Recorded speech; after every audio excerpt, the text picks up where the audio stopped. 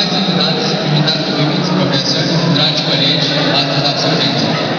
Sunt onorat să mă adresez astăzi în calitate de șef al promoției 2009-2013 de la Liceu Regina Maria Troboi, reprezentant unei generații care cred că a reușit să completeze o pagină frumoasă în istoria acestei școli.